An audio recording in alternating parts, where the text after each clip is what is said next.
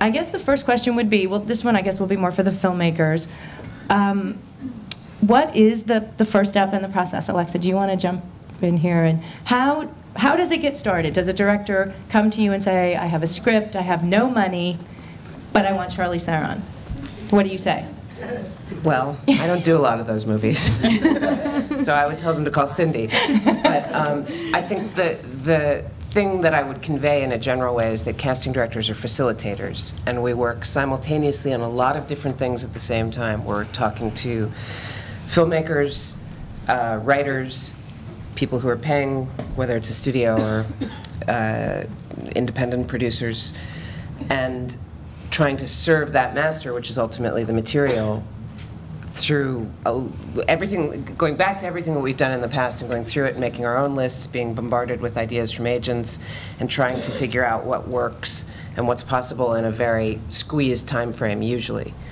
Um, but to answer that question about when somebody comes to you, are you talking about an unfinanced film? trying Yes, attach 'cause I would- See, I consider that producing, to be honest. Mm-hmm. I really don't think that is casting. I think that's a way of financing independent films. But Cindy's worked on a lot more movies like that than I have, so you can sort of address that. I think that, you know, it, the films come to you in many, many ways. One of them is uh, I have a script, I don't have any financing, will you attach and help me? And, and then hopefully there's a producer that you have a relationship with that's working with you as a filmmaker. And if you do, hopefully the producer is, is approaching me and trying to hire me to consult for a period of time to get a celebrity or a star that's going to hopefully help finance your film. Sometimes there is money already that exists, and the film is going to go, and they uh, say, great will you meet? And you know the director will meet a couple of casting directors and then we'll pick the one that they feel has the same vision hopefully as them to tell their story.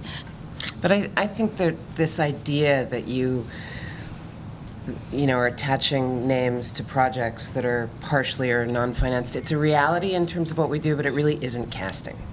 Um, well I mean, it, it's gray i think um, i think that it's what it's become it is producing but that the film industry hasn't caught up with the fact that that's what it is. It's still casting and that the producers oftentimes get the credit for something that you may have had a, a, a, a, a big big hand in doing, but you certainly aren't getting gross points for uh, attaching Ellen Barkin or whoever it is. which is, it's just an incredibly long, time-consuming process that is just as much work as anything else, so.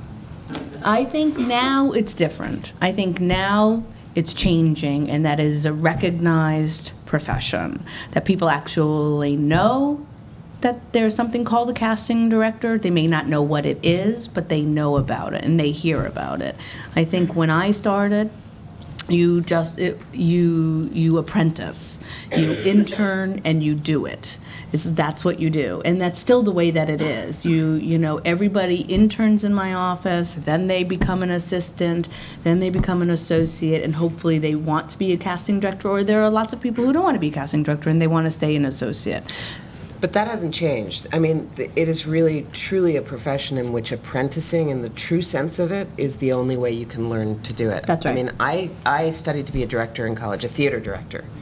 And though that skill set ultimately served me very well because it's about reading material, it's about working with actors. And so I think that um, I tend to trust more that someone's going to have a sense of how to be- begin to be a casting director if they have some kind of background either as an actor, or as a director, you know, something that is active in terms of dealing with acting. And for me, I was studying acting in school until I got uh, to the point at you know at the college level where it seemed like I needed to leave to go to LA or New York to pursue acting or not. And I decided I, I honestly didn't want to put myself through it. Maybe perhaps like you know I think actors you have to have that need and that passion and you know not want to do anything else. And I guess I found I. I wanted to be involved, but I didn't want to put myself out there as an actor. And so I, I went to the other side and I started working uh, immediately as an agent in uh, this area. And then after six years as an agent, started assisting for a casting director who did commercials. And uh, then within, I guess within six months or so, did extras casting on a film. And then worked my, up to, prin- my way up to principal casting. And so.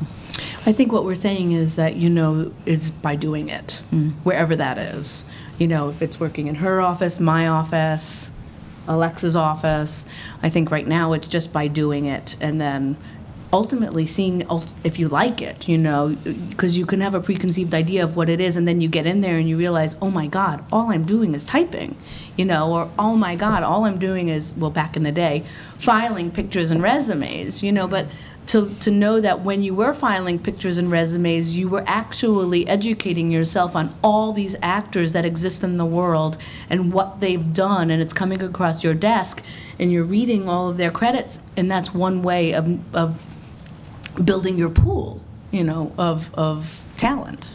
I've worked with lots of different kinds of directors. I've worked with directors who talk at actors. Um, I've worked with directors who are scared of actors, but they know what they want, they just don't know how to communicate it.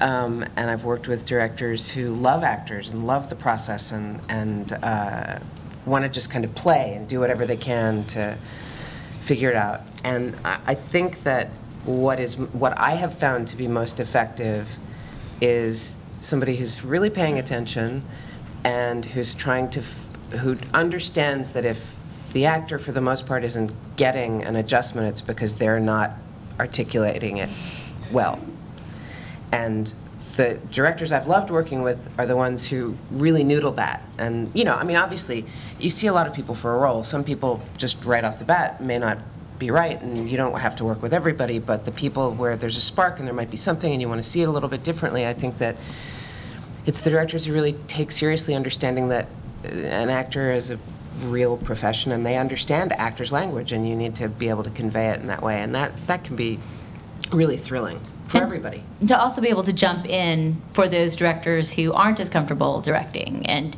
and help them find what they're looking for when they don't know how to articulate it. You know, I think we're kind of the support behind that.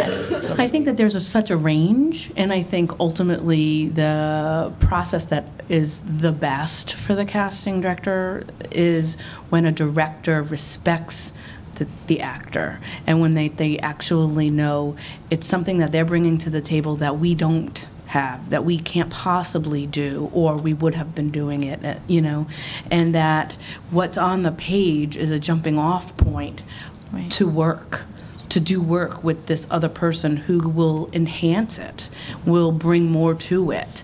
If you just want them to say the lines, it's not going to go anywhere.